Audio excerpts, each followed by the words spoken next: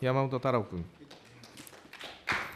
えー、一人ぼっちから脱出生活の弟山本太郎と仲間たちの共同代表と政策審議会長になりました山本太郎と申します。よろしくお願いします、えー、本委員会非常に重要な委員会だと思っておりまして自ら希望して委員にならせていただきました。本日はお聞きしたいことお伝えしたいことたくさんあります、えー、答弁者の皆様には本当に失礼ながら簡潔な答弁よろしくお願いいたしますとお願いして始めさせたいと始めさせていただきたいと思います、えー、早速竹下復興大臣にお伺いいたします、えー、東電原発事故の被災者の皆さんの被害と損損害が続く限り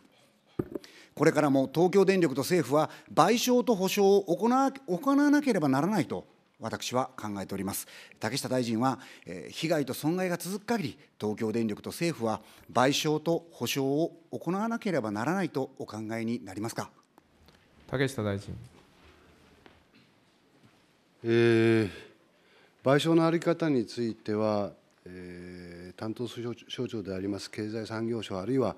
文部科学省において検討されておるところでございますが、復興庁としては、先ほどもお答えしましたように、これらのをしっかりと見守ってまいりたいというスタンスでございます。復興庁の役割は、これらの役所と連携しながら、避難指示解除に向けての準備や、避難指示解除後の復興の加速化というのが復興庁の仕事でございますので、そういった面の支援に鋭意力を入れていこうと、こう思っているところでございます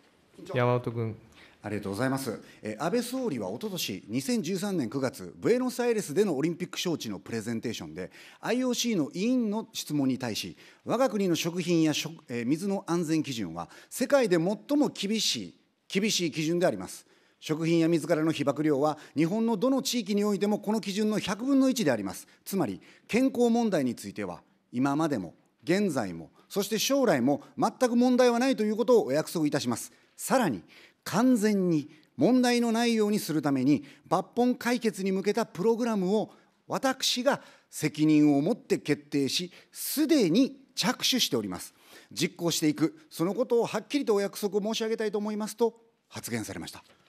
おととし11月5日の参議院内閣委員会でのこの安倍総理発言について、私の質問に対して菅官房長官、そのように発言したことは事実であります。総理の約束は政府の約束でありますから、そこはもちろん、しっかりと責任を持って対応するのは当然のことでありますと答弁されました。竹下大臣、安倍内閣の一員として、ブエノスアイレスでの安倍総理の発言と約束の事実を確認し、総理の約束は政府の約束ですから、竹下大臣にも同じ約束していただけますか？竹下大臣。約束します。山本君。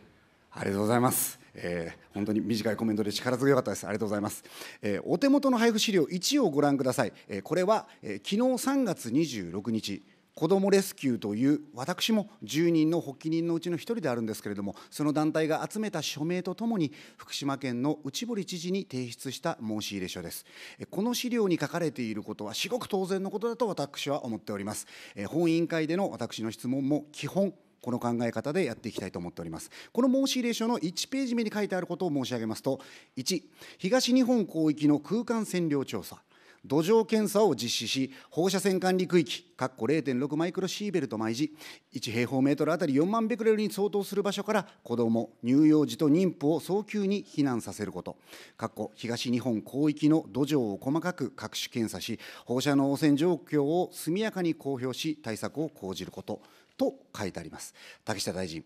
福島県内の原発事故による避難指示区域は現在、帰還困難区域、居住制限区域、避難指示解除準備区域に再編され、一部は避難指示が解除されました。これらの区域指定の基準は年間20ミリシーベルトなんですよね。原発事故で年間20ミリシーベルト以上ということで避難させられた人たちに20ミリシーベルト以下だから帰還してもらう。これ20ミリってちょっと高いと思いません？高すぎませんかね？どちらでしょうか竹下大臣。の高いか低いかいろんな意見があることは存じておりますが世界の大きな流れあるいは世界の、まあ、権威と言われる方といえばちょっとオーバーな言い方ですがは100ミリ以下は大丈夫であると。いうのが今世界で通っておる常識でございまして日本国はその中でも20ミリ以下というものを基準として設けておると。これが高いか低いかはそれぞれの皆さん方の判断であるとこう思います。山本君。ありがとうございます、えー、世界的な、えー、世界的なものの見方としてはというお話でしたけれども事故前までは年間1ミリシーベルト以下に1ミリシーベルト以下を目指すという被爆の考え方というのが世界的なコンセンサスだったと思うんですこの事故によって大きく安全基準を引き上げられてしまった結果、この国は100ミリだ、何ミリだってことを言い出したわけですよね。分かりました。えー、じゃあ、除染作業に従事する人々の年間の被爆限度、ご存知でしょうか？どなたですか？時間が限られています。ちょっと待ってください。はい、即興止めてください。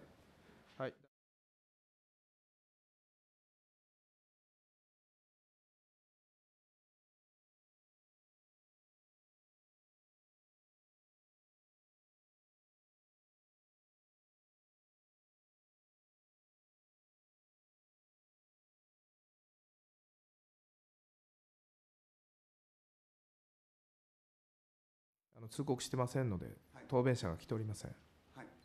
委員長山本君。はい、すいません、通告なしの質問だったんですけれども、おそらく復興、原子力に関わる方々だったら、どなたでもご存知の方だと、はい、ご存知のことだと思うんですよね。除染作業に従事する人々の年間の被爆限度、年間5ミリシーベルト、週40時間労働で換算して1時間あたり2.5マイクロシーベルト、除染作業をされている方々にも基準があるわけですよ。これは放射線管理区域に24時間365日居続けた場合とほぼ同等の数値ですよね。わざわざ毎時0.6マイクロの管理区域に24時間365日居続ける放射線業務従事者いませんよね。放射線管理区域の指定を受けて出入りが厳しく管理される入るときは防護服を着用し中では飲食は禁止されているのが放射線管理区域放射線作業従事者は年間5ミリシーベルトの規制を受けているのに一般の人々特に放射線の感受性が3倍から10倍と言われている子どもたちや乳幼児妊婦の方たちも含めて年間20ミリシーベルトというのは全く納得ができませんしできるわけもありません。竹下大臣私は放射線管理区域に当たる年間5ミリシーベルトの地域帰還させるどころか特に子どもたちにとってはこれ非常にリスクがあると思うんですよね。直ちに影響はないとしても避難させるべき地域に当たると思います。これもう一度考え方をこう正していくといいますかもう一度審議をしていくという姿勢必要なんじゃないかなと思うんですけどもいかがお考えですか、えー、経済産業大臣官房和解審議官。えー、年間20ミリシーベルトという水準につきましては、えー、他の発がん原因要因によるリスクと比べても十分に低い水準であるというふうに考えてございます。放射線防護の観点からも生活圏を中心とした除染や食品の安全管理等の措置を通じて、十分リスクを回避できる水準であると、このように考えてございます。今後、より一層の線量低減を目指すにあたってのスタートラインとして適切であるということで、専門家からもご助言をいただいているところであります。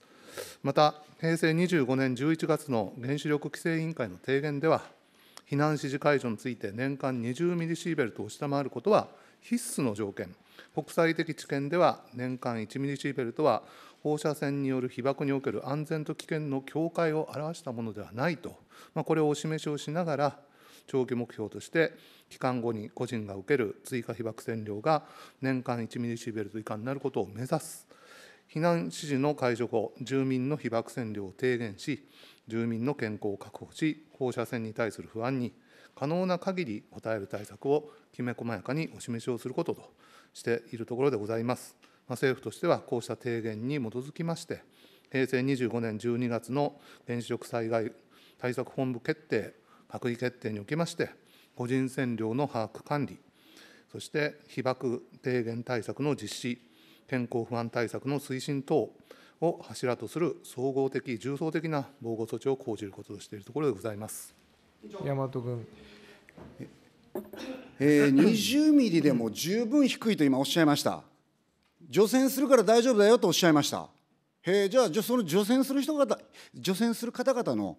被爆限度どれぐらいなんだってさっき話聞いたでしょ？年間5ミリですよ。その4倍与えて、子どもたち、被爆への影響強いっていう発表も出てるじゃないですか、3倍から10倍。それで何か、誰が大丈夫って言えるんですか。1ミリ以下に下げるって言ったでしょ、今、ご自身で。1ミリ以下に下げるっていう目標があるのに、20ミリが大丈夫なんて誰が言えるんですか、じゃあどうして1ミリ以下に下げるって言うんですか。もう事故が手挙げなくていいですよ、聞いてませんから。まあ、これは水かけ論になりそうなので、このまま終わりたいと思いますけれども、当然じゃないですか、時間15分しかありませんからね、でも低線量被爆、安全か危険かわからないってことが、専門家のはっきりした意見なんですよ。究極わからないものに対して、どういうスタンスを取るのが政治なのか、国なのかって考えたら、予防原則に立つしかないでしょ。20ミリで安全だっつった人、責任取りますか？それを決めた人たち、その頃生きてますか？だから事故が起こった後、直ちに影響がないって言ったわけでしょ予防原則に立ってくださいよ。安全か危険かわからないんだったら。ごくごく当たり前のことでしょ？国民の生命と財産を守るならという話です。さあ、時間がありません。続いて質問いきたいと思います。ストロンチウムの検査についてです。まず、食品安全委員会に伺います。お手元の配布資料の2にその概要がありますけれども、平成23年10月27日の食品食品中に含まれる放射性物質の食品健康影響評価の中で、えー、上段の丸丸の2つ目に甲状腺がんや白血病が小児の期間については感受性が成人より高い可能性。不確実な不確実な点があるがチェルノブイリ原発事故の際周辺住民の小児について白血病のリスクが増加したと書いてあります。これえー、食品安全委員会の正式な見解ということで間違いないですかね？ごめんなさい。時間が限られております。間違いない。間違いである2択でお願いします。え、内閣府姫田隆事務局長。小児の放射線に対する感受性につきましては、いずれもチェルノブイリ原発事故における報告でありますが、線量の推定等に不明確な点があること、5歳未満であった小児の白血病のリスクを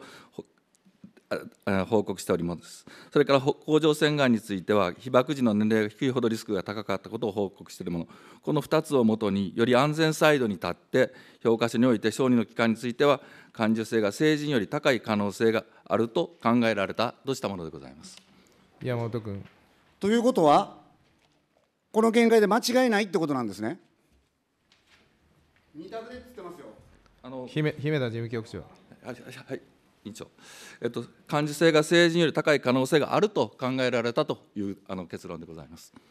そんなこと聞いてないんですよ。見解について指名してからあ失礼しましたご発言ください。山本君。そんなこと聞いてないんですよ。見解見解が間違いか間違いでないかだけ答えてくれっつってるのにこれに2分これに2分使った2分使っちゃったじゃないですか。紹介派に対する質問の邪魔やめていただけますか。さあ続いてまいりたいと思います。えー、次に原子力規制委員会にお伺いいたします。お手元の資料3になります。昭和32年版当時の原子力規制委員会の原子力白書でございます。このように書いてある。ストロンチウム90は骨にセシウム137は筋肉に蓄積する上にその半減期がかなり長いので多数の各種の中特に注目してその行動を追求していくのである。ストロンチウム90の骨髄照射は白血病。セシウム137の生殖器照射は遺伝子突然変異の発生頻度を高め子孫に対して遺伝的影響を与えるということです。えこの見解について現在でも維持されてますか？この見解は維持されている。この見解は維持されていないの2択でお答えください。えー、内閣府森本光一政策統括官。お答え申し上げます。えー、ご指摘の記載につきましては、あの我が国の原子力利用の黎明期である昭和33年に発刊された原子力白書におきましてですね、当時の知見に基づいて、えー、記載されたものというふうに考えております。で放射線が健康に与える影響につきましては、その後のおおあの見直し組織の見直しがございまして、現在は原子力委員会では所掌しておりませんけれども、従いまして、その現時点における最新の知見ということをお答え申し上げることは差し控えさせていただきたいと思いますが、一般論として申し上げればですね、その後、50年以上経っております。従いまして、その間にですね世界各国におきまして、さまざまな調査研究が行われて、その成果が蓄積されてまいりました。そしてあの国際放射線防護委員会、ICRP、はい、などにおきましてですね、あの勧告が出されています。まあ、そういう最新の科学的知見を踏まえましてですね、関係機関で役割分担をして、適切に対応しているというふうに理解しております。山本君。